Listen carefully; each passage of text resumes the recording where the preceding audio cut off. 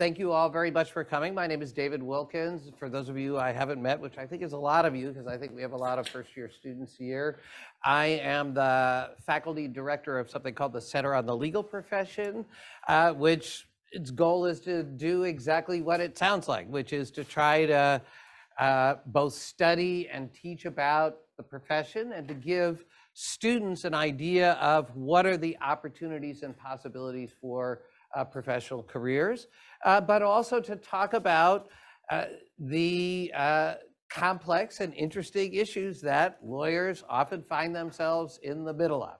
And my guess is today we're going to have a good opportunity to examine some of those uh, issues.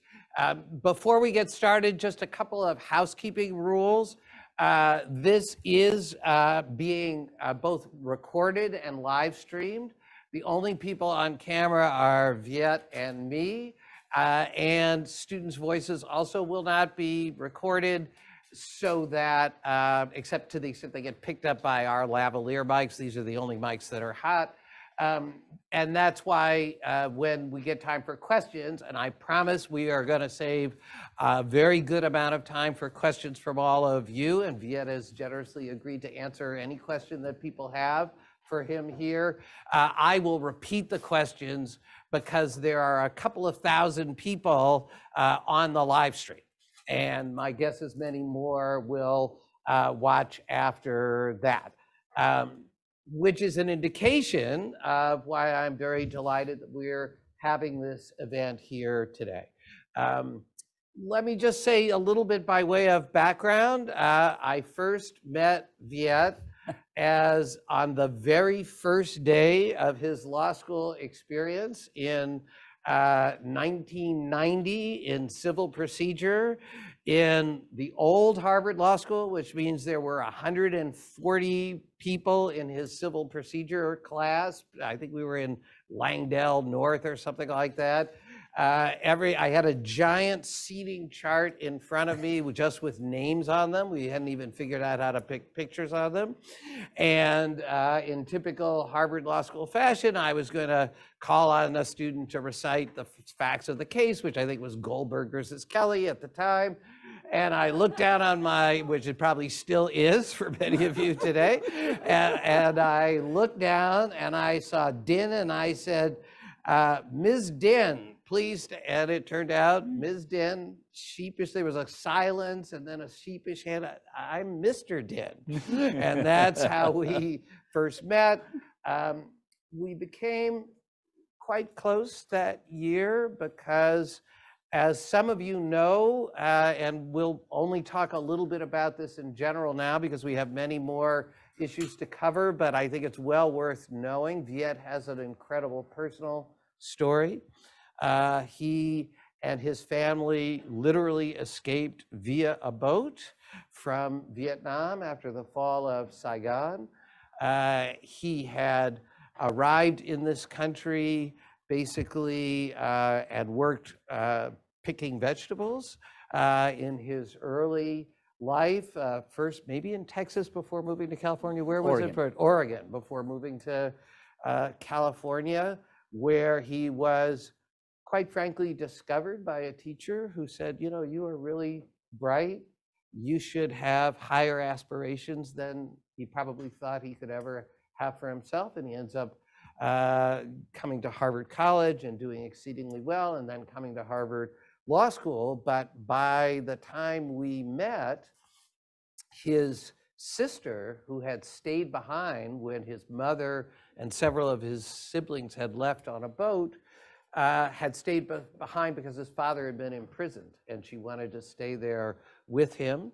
And he, uh, she stayed and eventually her father escaped and eventually she escaped, but she was caught in a Hong Kong refugee camp. And so at the time we met, and I'm not quite sure, I think I was having lunch with all my students kind of in groups of 10 or something like that. And we talked and he told me the story. And I said, well, let me see what we can do to help. And so we spent much of the next year uh, enlisting people who we knew who were in the Bush administration, the H.W. Bush administration at the time, uh, Bill Alford, who Uh, Viet just met, who wasn't unfortunately able to be here, also chipped in, as did several other professors, and we managed to uh, get his sister out of that refugee camp. And we've stayed uh, in touch ever since. Uh, I think it's fair to say we don't agree on everything, and that may come out here. We have different views on a lot of different kinds of things, uh, but he is remains one of the most extraordinary people that I've met. And uh, when we were in touch around the death of Charles Ogletree, which was also a mentor of Viet's when he was here uh, and was a dear friend of mine. I said to him, Viet, you know, if you're ever around, you should come and talk to students about some of the issues that you have been dealing with. I'm sure there will be tremendous interest, and the fact that there's kind of standing room only in the back of the room uh, shows that there is indeed. Um, so, as I said, I promise there'll be lots of time for questions, and Viet has graciously agreed to answer any question uh, or at least engage with any question that anybody has. But we're going to start out uh, by talking a little bit about how he got to his current position as the general counsel at Fox, and then some of the issues that he's confronted there and what the role of the general counsel is in those issues. And this is partly my interest and our interest in the civil, uh, the center and the legal profession is to talk about what is the role of lawyers, uh, particularly general counsels, which is a role that there's been, quite frankly, very little, even today, attention to, uh, especially in law schools.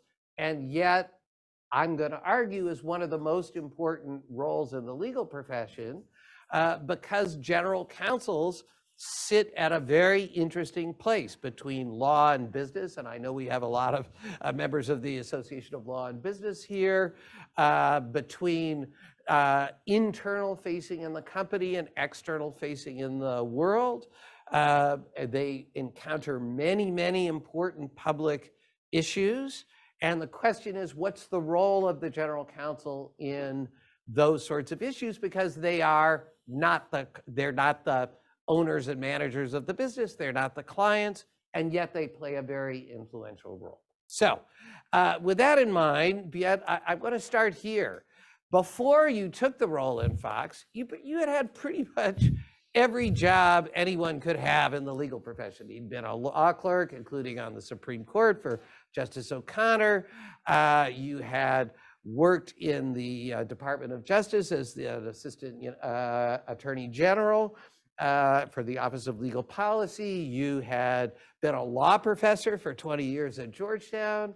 You had started your own law firm, which was kind of the first of what we now see several of, which are kind of boutique, uh, Supreme Court focused or appellate focused litigation uh, boutiques. And you had then uh, negotiated the merger of that boutique into one of the biggest, most successful law firms in the country, Kirkland and Ellis, many of you know. So after all that, why did you decide you were interested in being a general counsel? Great question. Thank you very much, David, for uh, uh, have, being here. I just want to say, since you brought up the the the story of uh, my my uh, origin story here at Harvard Law School, I owe everything to this place, owe a, a whole lot of it to you. Um, you know, it was just, if you don't, if you know immigration law or refugee law, you know that people who come into a country is not entitled to any rights because there's, a, there's an exclusion doctrine. Uh, uh, and so, and so, uh, my sister's being held in a detention camp uh, just in the New Territories in Hong Kong, and there was no way for us to get any legal recourse.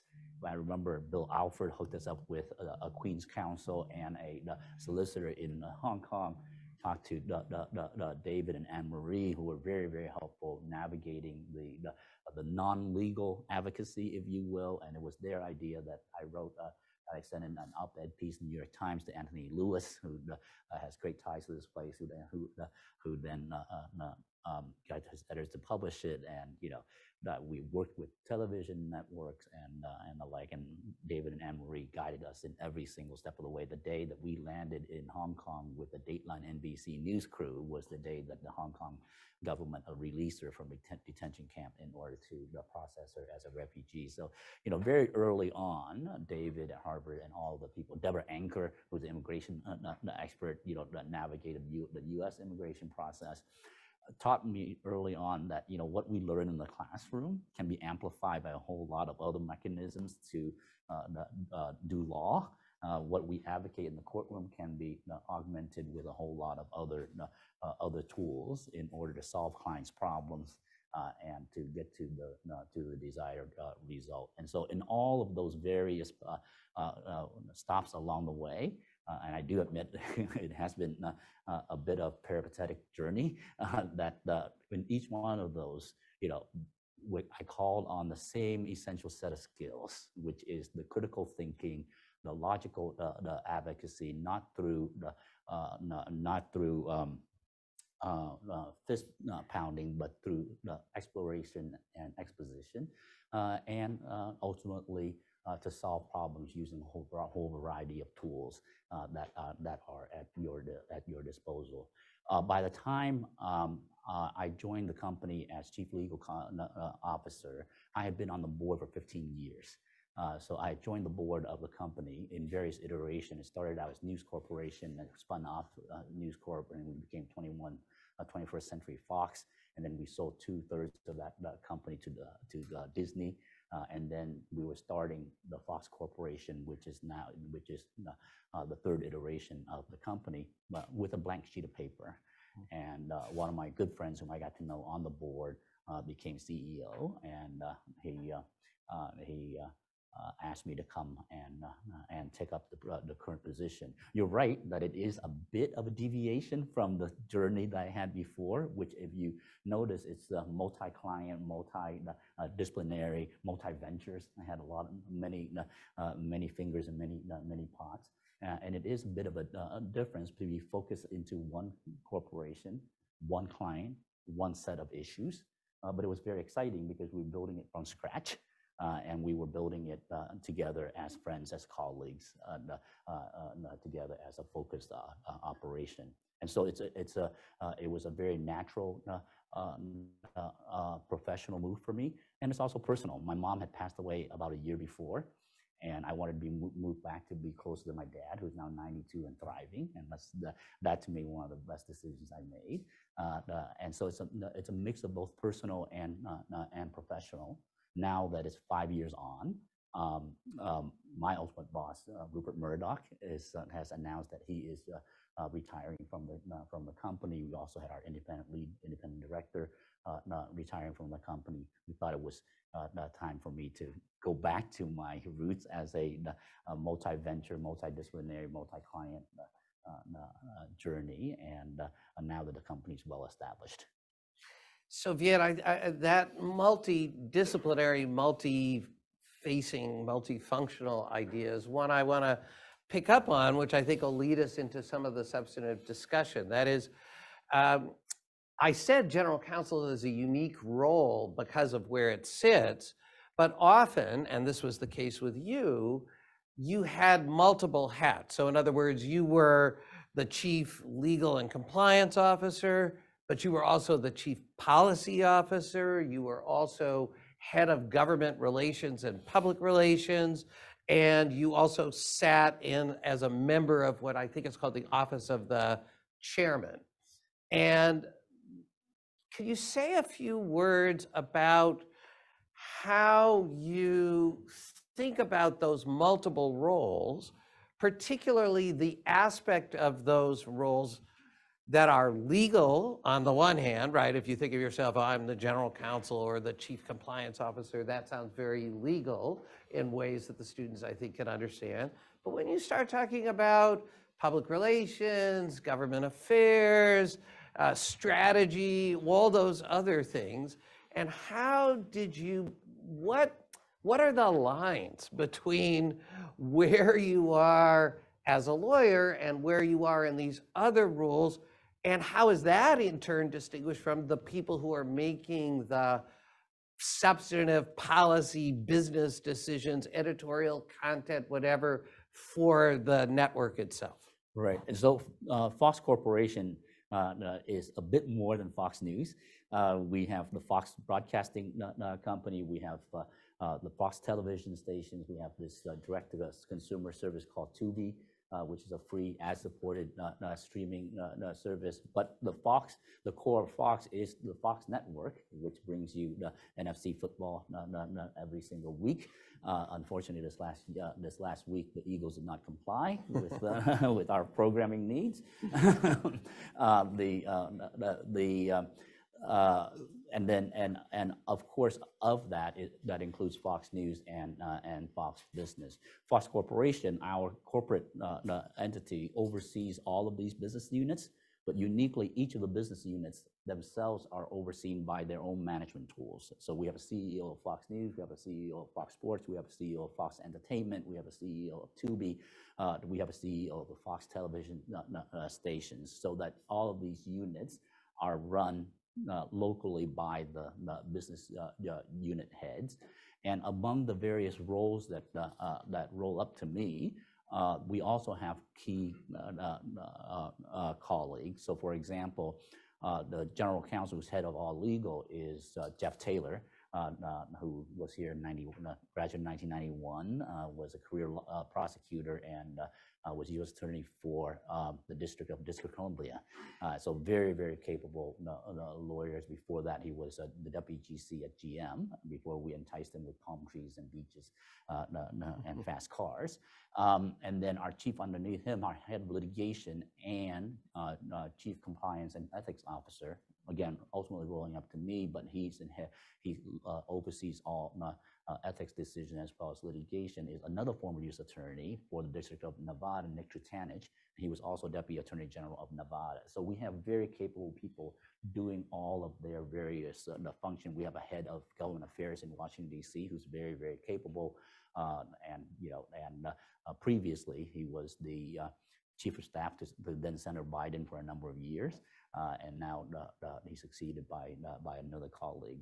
Uh, and so we have all these teams that are very, very capable doing their the, the, doing their jobs. And I, my job essentially is to help Lachlan uh, be the decider in chief. He is the chief executive officer and executive chairman. Um, he bears the burden uh, and responsibility of making all decisions for the for the company.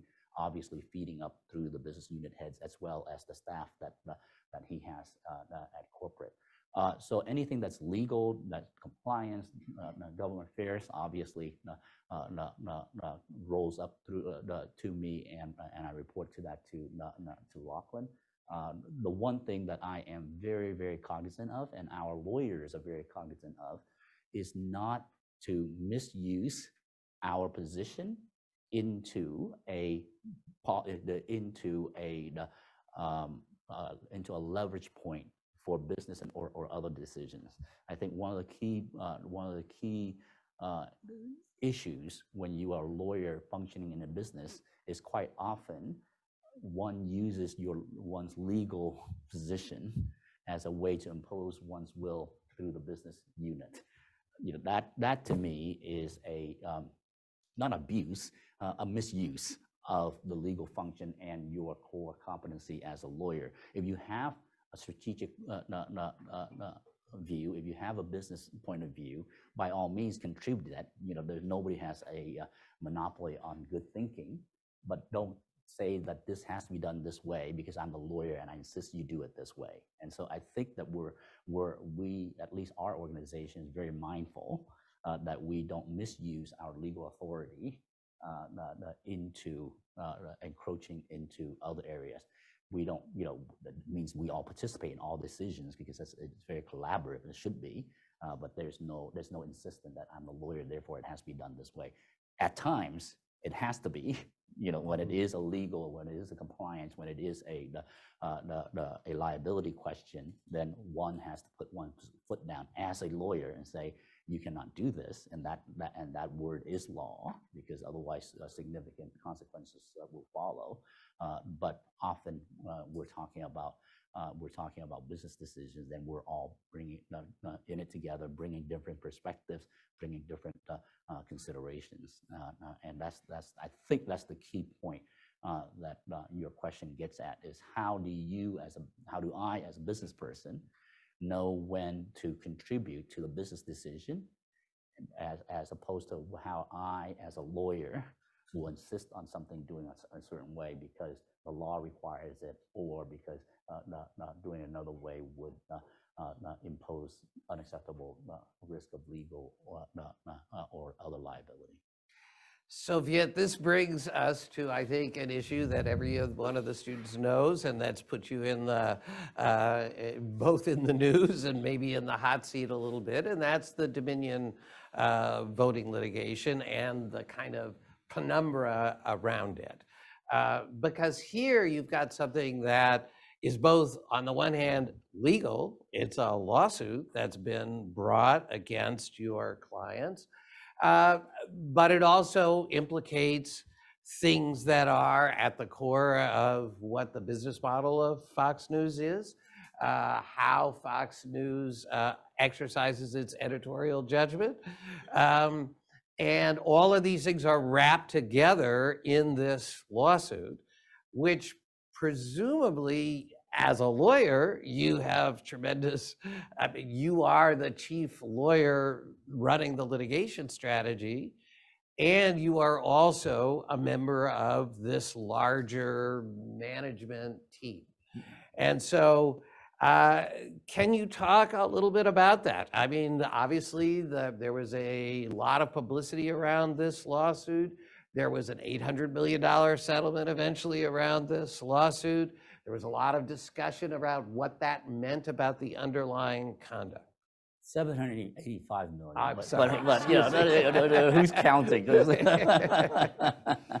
Um, The, uh, um, so the two, uh, two distinctions which you've made, which is, yes, uh, in the conduct of litigation, the backward-looking liability uh, uh, ascription, I, as the, the, the, uh, as the chief legal officer, you know, oversees the entire litigation. We aided by, obviously, a very capable uh, uh, uh, set of lawyers, you know, uh, Jeff and Nick, who I've, who I've mentioned before, but we have a very capable general counsel of Fox News, Bernard Gugar, who was general counsel of Harpo Production uh, uh, uh, before, uh, Oprah Winfrey's uh, uh, company, and he has, uh, and a the deputy general counsel there who was a uh, litigation partner at Kirkland and Ellis. So we have a very good deep bench in-house, and of course, we have at one count hundreds of outside lawyers, you know, the, probably the best trial lawyer uh, uh, in the country, and Dan Webb. And uh, I'm biased, but clearly the, best uh, uh, appellate lawyer in the country, uh, certainly uh, uh, now and of his generation, Paul Clement. And so there was this whole, uh, uh, uh, uh, the whole uh, uh, litigation uh, team. Uh, our thesis was very simple. Our thesis was very, very straightforward. We are in the news business. And the six weeks following the, uh, the November 9th uh, elections uh, of uh, uh, 2020 were a incredibly newsworthy uh, six weeks. Why? Because you have the sitting president of the United States contesting the result of an election that he lost and hiring lawyers to go to court in order to challenge the initial uh, uh, election results and asserting that he, at the end of the day, will have enough electors to overturn the election. And why do I say six weeks? Because by our laws, December 15th is when the electors have to be certified by the state legislatures, uh, in order to have the House of Representatives uh, recognize it. So it's a very discrete period of time with what I consider to be incredibly newsworthy, uh, incredibly newsworthy events. And we, as a news, organization, would not be doing our jobs. We have not only the responsibility, but the duty to cover those allegations. It was a live ball, and it was, the, the, uh, it was hotly, uh, uh, uh, hotly uh, uh, contested. Um, we knew we were right in the- in the law. The uh, trial judge uh, put us in a situation increasingly where It was very obvious that we were not able to win the trial. Uh, I had, a- uh, but we were very confident we would prevail on, on appeal. And as the judge compounds error upon error, we would get more and more confident in our ultimate, Uh uh uh, uh, uh, uh, ultimate chances of prevailing on, on appeal. Because at some point it became not just a matter of reversible error, it called into the fundamental fairness and integrity of the Delaware civil justice system. We had a situation whereby I had Dan Webb, you know, threatening to commit suicide in his, in his hotel room because he sees no way to win this at trial. And I've got Paul Clement doing cartwheels uh, in his hotel room saying, wow, I'm going to be the hero, you know, winning this case back for the company and for, uh, and for the First Amendment and American uh, democracy. Uh, One example, for example, was uh, the judge uh, ruled that we cannot prove falsity. We cannot prove falsity because the election clearly was won by President Biden. Nobody disputes that. But that was, that wasn't our argument. Our argument is, it's the truth or falsity of the fact that we cover the allegations as allegations. There was no question in our mind that the president was making these allegations. He's doing on TV, on our air and others. There's no question that Rudy Giuliani was making these allegations. There's no question that Sidney Powell were making these allegations. And we, as a news organization, had a duty to cover those allegations. And so the truth or falsity is not the truth or falsity of the allegations, but the truth or falsity of the fact that they made the allegations.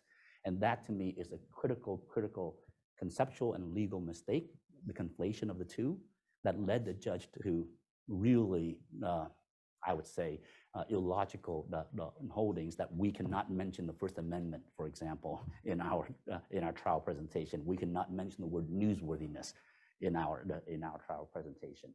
And so and so those are the kind of things that really hamstrung Dan's ability to present and ultimately to defend the case uh, before a jury because we are we were confident of our position on appeal, the more these errors compound, the more cartwheels Paul Clement did, because his job becomes a lot a lot easier.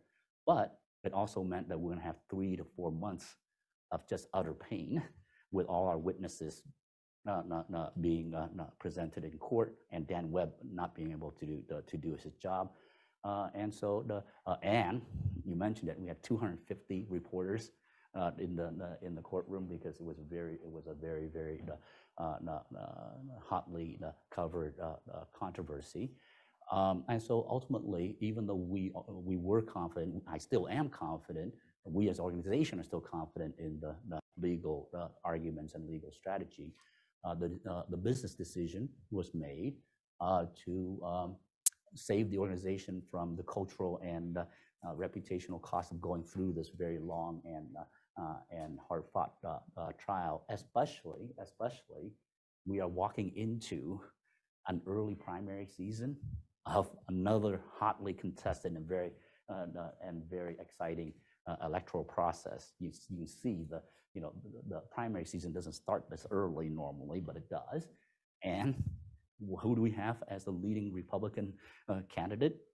the same guy who was contesting the the the, uh, the 2020 uh, election, right? And so and so the business decision is to, you know, take the pain so that we can do our job in the next cycle for uh, to cover the the, the, newly launched uh, presidential election of, uh, of 2024. And so uh, that's as clear as I, as I can make it in terms of how our thinking uh, go went and still goes. It also goes to your first point, uh, uh, or uh, the, your repeating point, uh, David, is that my job as a lawyer is to give the clearest legal advice, make the best legal judgment, hire the absolute best lawyers to advance our case uh, in court. Incidentally, to defend the First Amendment of the United States and our constitutional democracy, not small, uh, not, not small, not beer here. Uh, but my job ends there to a certain point, and a business decision has to be made as to whether or not the principle is worth the cost to the institution. And, and so and so there are limits to the legal to the legal position. There are limits to the, the uh, to the business judgment. Where what I said before is what I think would be a misuse of power is for me to say I'm the lawyer. I insist on going to trial, you know, without regard to the business implications, because that's clearly a overreach of the legal position, even though we thought we will ultimately win. So, uh, uh, thank you for that. Um, One of the things you said there that I, my guess is, again, and we're going to go to questions pretty shortly, I've just got a couple more things I want to ask, is, of course, about the First Amendment and about it, the effect on democracy. And that was, of course, one of the big issues uh, that people have talked about, particularly in light of what happened in January 6th. And uh, one of the questions about Fox News that my guess is is in one sense editorial, but in one sense maybe also legal, particularly with respect to the role of the general counsel, is what is the line between reporting on the news and the news reporting division, of which you could say, you know, what are the results of the election, so to mm-hmm, speak, mm-hmm. and the editorial content and the uh, editorialization of Fox News hosts. Yeah. And as a general counsel, presumably there must be legal constraints around both of those things, but they're not necessarily the same thing.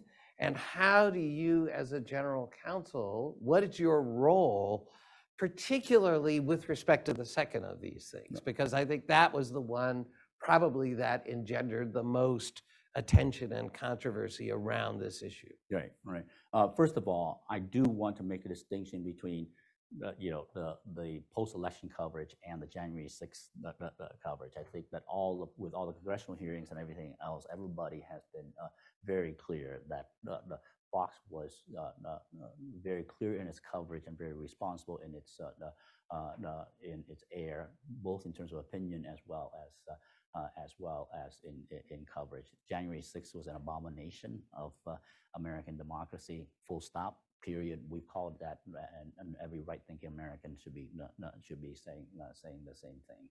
The um, the the bigger question uh, you raise is what are the safeguards, both in terms of prevention as well as remediation, do we have around uh, editorial voice, especially as it, as it uh, uh, turns into uh, potential liability.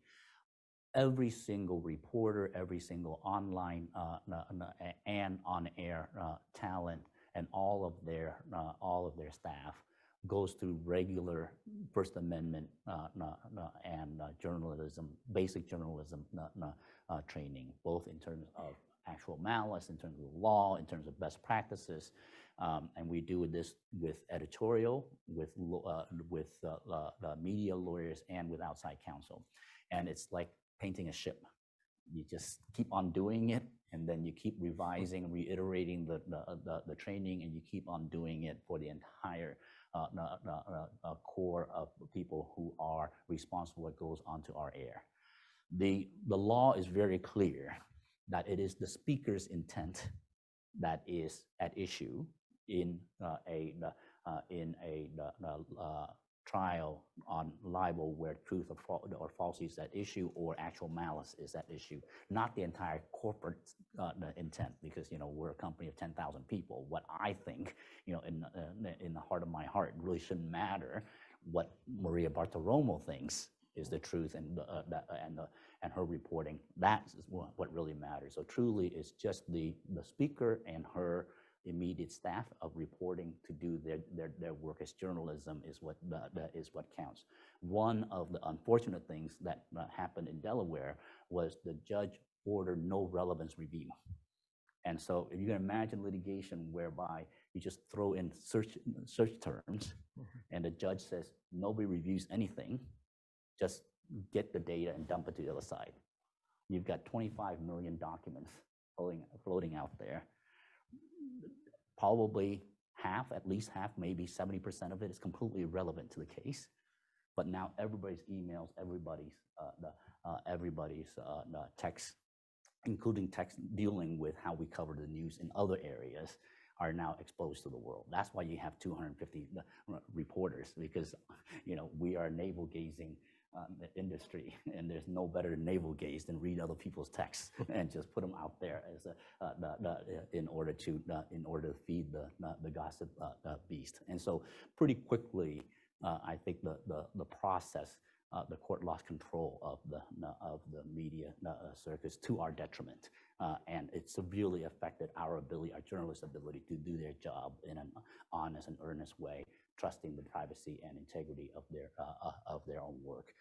Besides the training, there you know we of course trust primarily the reporters and the on-air uh, and the on-air people. That is their primary job. No amount of legal review, no no amount of supervision will substitute for quality and integrity in the reporting uh, uh, uh, process. And each person has that uh, obligation to make sure that uh, what he or she uh, puts on air, writes in print, is of quality and integrity, and we can uh, we can stand uh, behind it. There's a difference, of course, between news and opinion.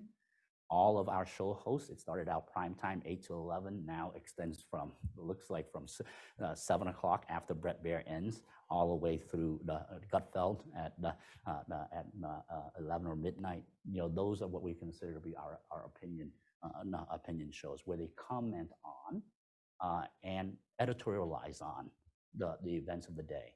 That, to me, is understood as opinion, uh, is uh, protected as political uh, uh, expression at the highest level of, of the Constitution. And so, in many ways, the Constitution gives you better room in order to participate in democracy through opinion.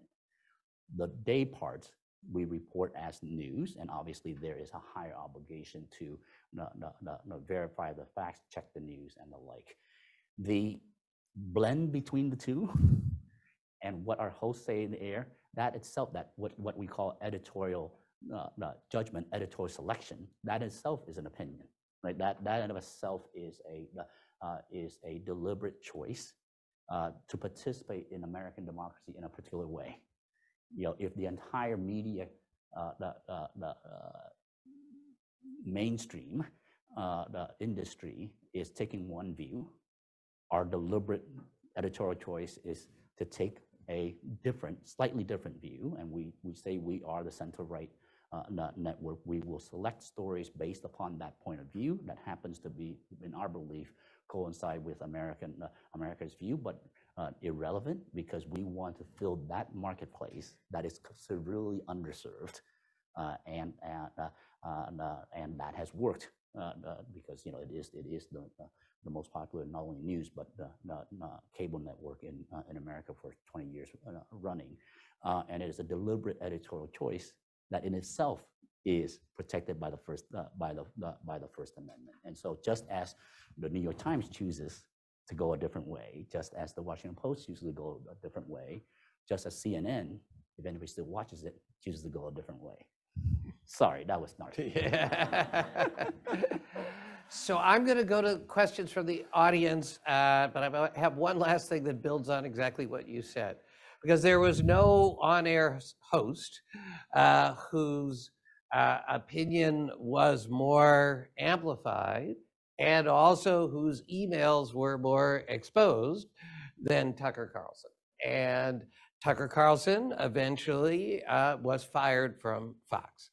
And so you're the general counsel. I cannot imagine that that decision would have happened without it coming to your desk. And while many of the things we've been talking about, you've been critiqued from the left, I'd say there's been a fair amount of criticism from the right about the firing of Tucker Carlson. And how does that fit in with what you just talked about? And in particular, again, what's the role of the general counsel in making that decision? Right. And, and the way I will answer it, I apologize with just a little of a clarification. Okay. Tucker has not been fired. He remains on contract with us and being paid very handsomely by us. And his contract, uh, uh, his contract uh, has a clause that is very uh, common in uh, media contract. It's a pay or play contract, which is that we, as the network, has the option whether or not to put him on air. The only consequences of us not putting him on air is we pay him to be hanging out in Maine or or or or, or in Florida. And so, and so, and so, and so we, you know, as a, you know, as the, the lawyer, we made the decision that was the proper way to handle the, no, no, no, to handle the situation. It continues to be, uh, uh, to be the case.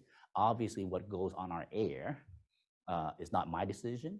It is a core editorial decision that's made by Suzanne Scott, our CEO. By the way, uh, the, the only, I think, still, no, no, no, no, somebody else joined, but, you know, certainly the most powerful and effective woman uh, executive in the news business, and she's incredibly, uh, incredibly good at what, uh, at what she does. She makes a decision who goes on air, who, uh, who doesn't, the kind of personnel decision that, sh- that she and, and, and Lachlan Murdoch, the CEO of the company, make together. That's core business and editorial decision. My job is to execute it from a legal perspective, how best to, to handle the, uh, the, uh, the, the, and execute uh, the, decision.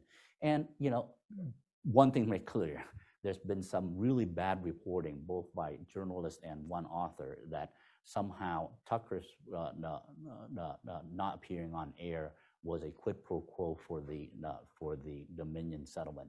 Absolutely untrue, never could be enter the conversation, never part of the, the, the, uh, uh, of the settlement. Both we and Dominion have uh, uh, said it on the record repeatedly. I think this is just a, uh complete fabrication of, by, by journalists trying to look for a story when there, there, there, there wasn't one there. Uh, in terms of the, the actual decision, obviously Suzanne and, uh, uh, and Lachlan have spoken elsewhere regarding the- the- their decision. But it follows the same train of thought that I said before. We are getting ready to cover a very long and very contentious uh, presidential cycle with a whole lot of stuff going on around the world. Around the world, literally. Russia, Ukraine, Middle East, China, just everywhere. And the same leading Republican candidate that we had just four years ago who still doesn't believe that the, uh, the, the president won the election. And so, and so I think that, uh, I think that uh, Suzanne want to make sure that we have a, very good uh, slate going into this uh, season. And uh, uh, the, the, uh, you know, I think Jesse coming into seven o'clock is a, uh, is a welcome addition. The rejiggering of the uh, lineup has been, uh, uh, has been positive. The early returns are good in terms of ratings and more importantly, uh, the viewer satisfaction. So I, think the, uh, these things, these things are hard, uh, uh, you know, uh, risk-based and reward-based decisions that uh, uh, in many ways uh, is not in my core competency, but it's for, for the executives who, who make these, but, you know, these are hard decisions. There's no question about it. Tucker was not only the most popular person on our network, he's the most popular television personality, period, you know, on, on- in- the air. And the, ability to take him off the air, you know, everybody knew had some consequences. So the floor is open. Please.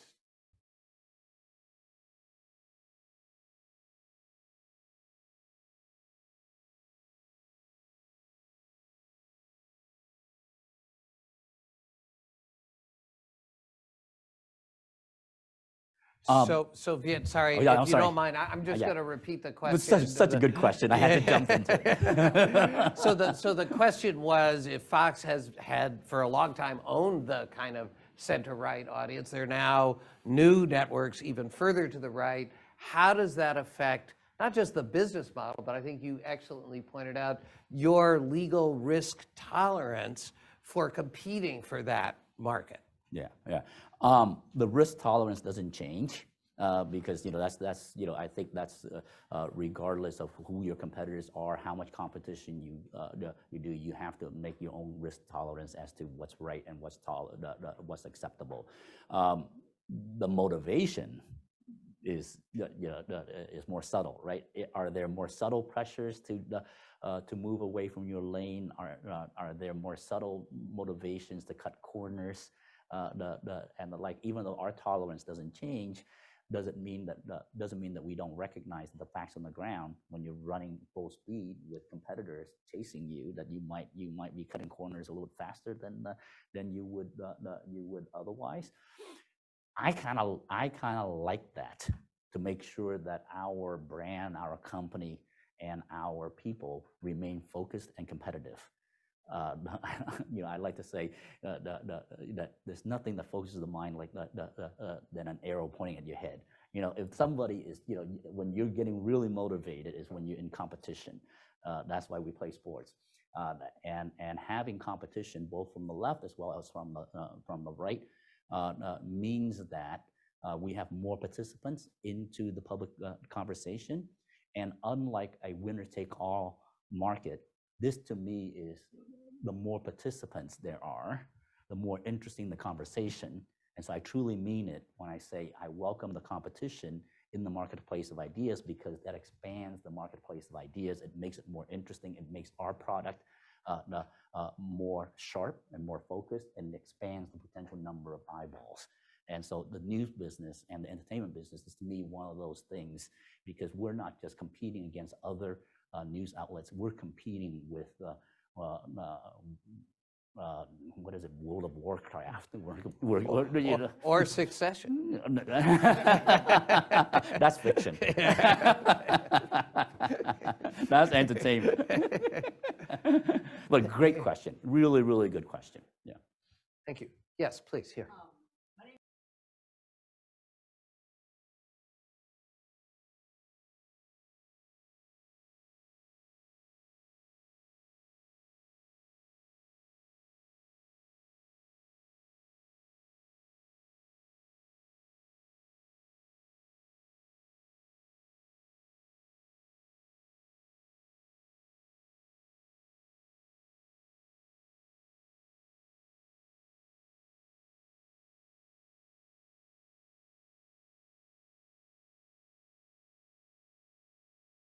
So, so uh, again, just to repeat the question, and for those of you who don't know, when Viet was in the Bush administration after 9/11, he was one of the chief ar- architects of what's been called the Patriot Act. And I think the question was, looking back now, Viet, we've now had more than 20 years, and also looking forward in terms of what's happening in the world today, maybe how do you think about the balance that was struck with that act? And and what are the implications moving forward as technology allows us to be much more intrusive in terms of surveillance than was certainly the case when you were thinking about those issues uh, in 2001 Right.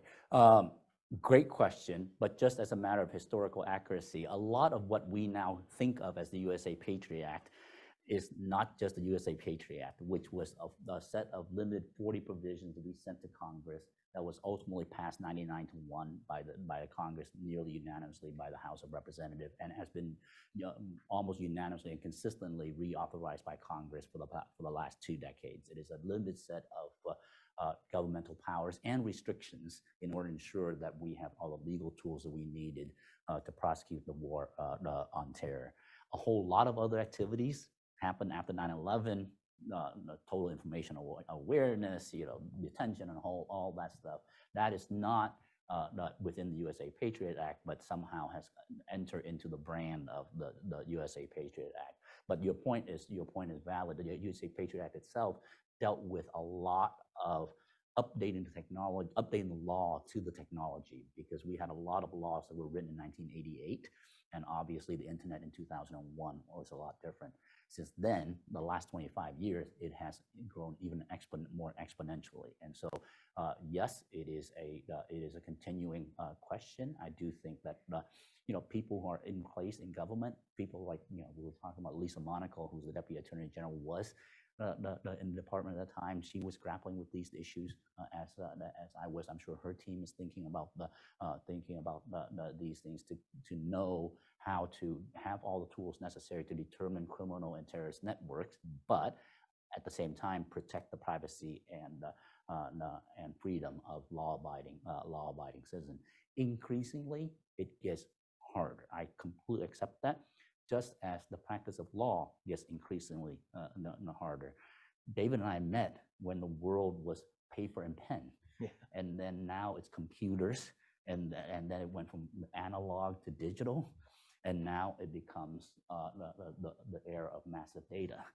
You know, I was you know I, I was amazed dealing with a case like uh, uh, with 25 million uh, uh, uh, documents, of which two or three emails you know, gets blown up and shows up in Vanity Fair you have to understand, you like, there is on the decision-making side, there is you know, two lawyers, Paul Clement and, uh, uh, and uh, Dan Webb, at the top of a tower of over 100 lawyers, because that's how many lawyers it takes in order to process a case of this size. Over here, looking at a mountain of 25 million pages of documents. That's, that's a practice of law that you and I are not familiar with. You know, we, and, uh, and, and by the time Dan goes into court, he has one, maybe two binders that gets, but the trick is how does Dan and Paul have the ability to access and understand and process these 25 million? You need that, the entire ability of that entire tower of decision makers to be able to process, search, and make evaluations of that entire mountain of 25 million pieces of data. That's just the practice of law. Think about that in terms of investigations. Think about that in terms of uh, uh, uh, backward-looking uh, uh, criminal investigations. Think about that in all host of other areas of our society where massive amounts of data are being ingested almost on a on, on a second by second basis with the multitude of uh, uh, of decision makers. I think that's that's when technology also can help Mhm, because you know now we have the ability to use AI in order to help us through some of that. uh, Uh, some of that, I w- you know I wish I had more of that uh, available uh, so that uh, I, as one of the people in the in the tower, can have access to one or two of those emails and texts within that the, within that mountain. But I think uh, you know the the rules and the use of technology. Uh, will hopefully help us uh, solve this uh, this issue because it is very very uh, not very very hard. And and you know like I said I complained about the fact that the 25 million should have been 5 million had there been a relevance re- review. Uh, uh, and and what are the rules that we impose on society on legal processes on discovery in order to make sure that the 24 million that does not belong is not exposed to the world for prurient or or non-relevant uh, purposes. But I think you're, you're absolutely right, and that's why I, you know, I love the things like uh, the Center for Legal uh, for Profession to allow us to think about the second order and third order issues rather than just how do we process. Uh, the, these 25 million documents for the 100 decision makers, but actually think one level up on thinking about how, how do we do that more efficiently, and then third level up, how do we do it in advance of the administration of justice, both criminal and civil. So we will be talking lots more about this over the course of the year and several years, and I hope that those of you interested in this will stay tuned because uh, it's important for everything, as you said, immigration, for security, for surveillance, for privacy, but lawyers increasingly are in the middle of all of these discussions. Other, yes, please.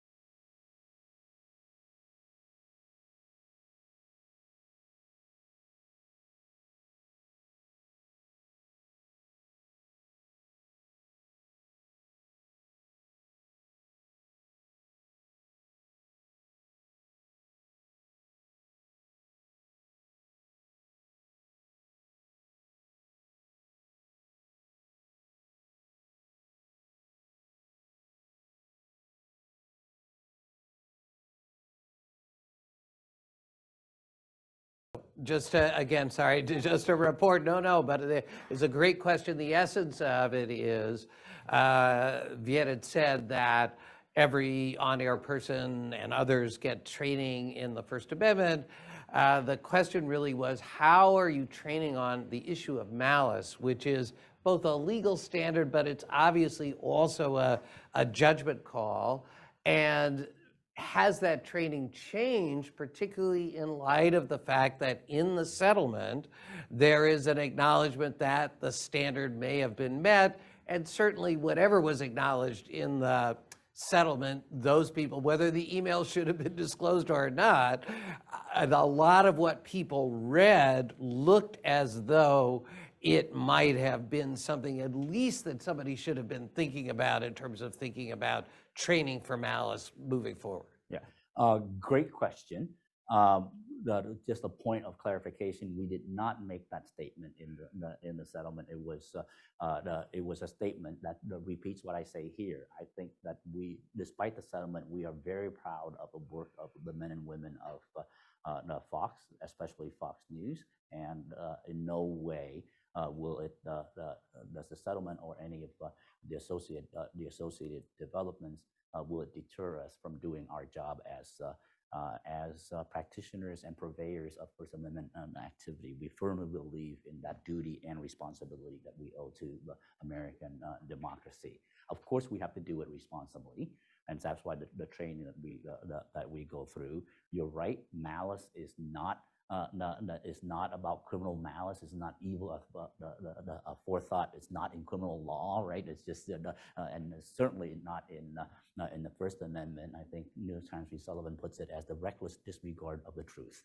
Uh, and uh, the question then is how much uh, how much uh, uh, uh, investigation do you have to do in order to uh, be not reckless?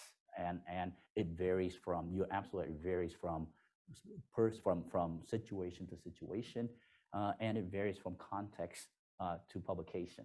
And so and so quite often uh, we not only talk about the legal standards, but because we're talking to professional reporters and not professional lawyers, we have to put it into real world context.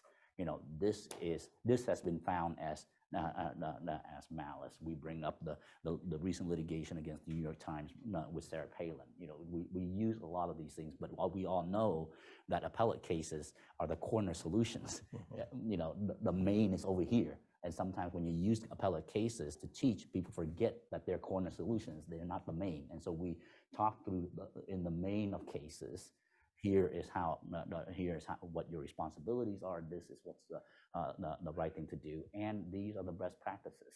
That's why we have media lawyers who represent a number of organizations who've seen these situations and advise on uh, on practical the, on practical issues. Flip to that, the recognition, if you will, that a lot of our laws relating to the First Amendment and, uh, and uh, libel was developed at a time when news was in print.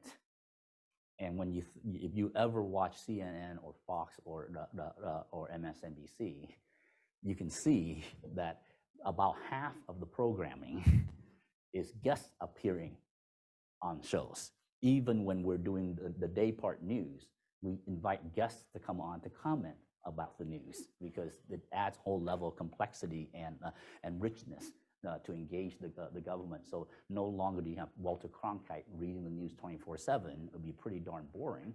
But you, uh, but you know, you have Harris Faulkner not, uh, bringing, reading the news for like two minutes and then calling somebody else in to have a conversation about, the about the news what are your duties before you put that guest on the, the- the- on the air? Uh, uh, What happens when the, uh, when uh, uh, the guest says something unanticipated? Uh, uh, Do you have a duty to correct? You know, all these things are live issues that we have to, that- we have to, that we have to encounter. The courts, the courts have said that, you know, in a call-in show, you're not responsible for the, you know, uh, some jackass calling in and saying something bad. But, you know, because, y- y- y- so you don't, you're not required to do a five-second delay just on the off chance that somebody uh, uh, uh, uh, says something bad. But on the other hand, you know, what happens when uh, when somebody is uh, making incendiary uh, uh, uh, and false allegations uh, uh, that uh, may be repeated on on the air? We have mechanisms uh, uh, uh, uh, to do with that. You know, a lot of news organizations do this. You know, they, uh, uh, even on even on news conferences where maybe a former president was talking, you know, people will have, will, will put in tape delays just in order to protect themselves and, and not just protect themselves legally, protect the integrity of the product. Right, and so because that's, that ultimately is what we're responsible for. We, we, we don't like to think that lawyers make editorial or business decision. We like to think, let the, the reporters and business people make the best judgment of the, uh, the, uh, in consultation with legal counsel and not be dictated by, uh, by, by, by the lawyers.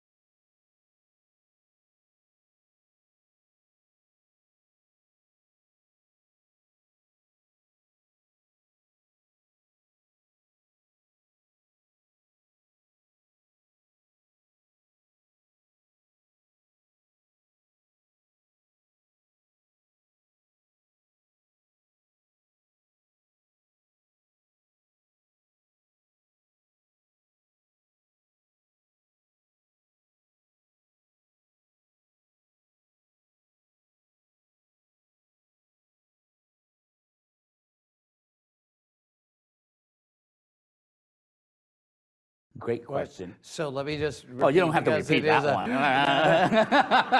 I think for the, for the. She for the asked, what do I think about apple pie Yeah, and yeah, and no, no. American flag? No, she asked a, a, a terrific question about how do you reconcile your role as a lawyer, protecting the interests of, um, you know, Fox News and the organization that you're with, and the and its right to have its own opinion and reporters, with your own personal experience of being uh, an immigrant, uh, a refugee, an Asian American, uh, in a time in which uh, it's at least fair to say that there has been a lot of uh, editorialization uh, against immigration, against immigrants, and many people, I think she used the word degrading of people on the air. Whether or not it's First Amendment protected, I think she's asking you, how do you reconcile that as a as a human being? Right. Um, you brought up Anthony Lewis. I'll start with an Anthony Lewis story. I love Gideon's Trumpet because it's a story about a prisoner who handwrites his own petition and gets the Supreme Court of the United States not only to read it, but to give it its due and recognize a right of redress uh, the, uh, the, for the petitioner. If you've ever been around the court, you know how improbable that is because, you know, the, the court takes in well nigh 15,000 uh, cert petitions a, a year. It hears maybe I don't know what the current number is, probably 75 or so. And so that's a that's a lot, a very big mountain with one handwritten, one handwritten uh, uh, uh, uh, petition. And Tony wrote it so well, dro- you know, uh, uh, as I uh, uh, as you put it, brings the whole humanity of our not only of the uh, of Gideon, but but also of our entire criminal justice system that allows for uh, uh, the least of us to be heard by the highest of the courts. After 9 11, when I was working on, actually, after I already finished the USA Patriot, Act, but I still was head of legal policy, Tony, Tony call, uh, me and asked if he can come in and see me. I said, absolutely. So we talked about a whole bunch of, a whole bunch of things. And then, and he says, he asked exactly your question in that context. He said, Viet, you are a immigrant, you are a refugee, you are a boat person, you've got everything from this, uh, from this country. And uh, how do, how can you sit here and, uh, uh, and do your job uh, to uh, oversee, implement the, the, the, you know, the, the, the, the, the xenophobia that's going on in policy uh, uh, across the administration? I looked at him point blank and I said, Tony, that's a great question. Uh, and it's a question I ask myself every day, and all of us as participants in the legal process, indeed, all of us as human beings living uh, the life in America has to ask ourselves, which is how do we pay fealty to the principles that we believe in that got us to this point, and yet still be true to our profession as well as to our uh, uh, as to our uh, voice and integrity. I, I told Tony that I take the, the, the question uh, in the spirit it was uh, uh, asked, which was there was no personal accusation or animus. All that I all that I can do is I promise you my utmost ability to do what I think is right, to serve my country in the hour of her greatest need with my limited abilities. Some of that people may disagree with, some of it people may thank me for, but always we're in this together in order to help uh, uh, uh, find uh, the right answer. Look at we we uh, at Fox News has 24/7 of of a multitude of voices. Does that mean that I agree with every single uh, uh, minute of the air that that, that that we air? Of course not. I can't watch all 24/7 of it, but uh, the, does that mean that the, and that diversity of voices is what makes the product good? that, that was make for the, the product. As I say, we have an editorial position at that is center right, but it a lot, but it would be very, very boring if there is just somebody saying this is a center right position. Let's roll with it.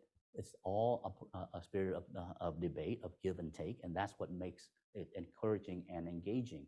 You will be very, very. I don't have the numbers uh, specifically with me, but more Democrats and independents, those self-identify as uh, Democrats and independents, watch uh, uh, Fox News than not.